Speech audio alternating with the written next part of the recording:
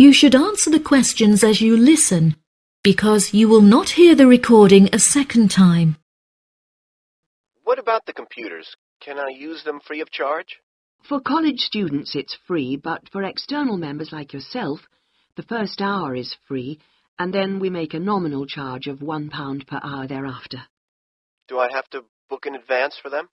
Oh, yes, it's advisable. Most people tend to book 24 hours in advance, although sometimes you can get one with only six hours' notice. However, the earliest you can book a computer is 48 hours before you need it, and you can only book one hour at a time. If no one else has booked the computer out, then you may be able to have another hour if you want. We have a wide range of databases, so the computers are in great demand. I'm thinking of doing some writing, and I might need to access national newspapers. Do you have them on these databases?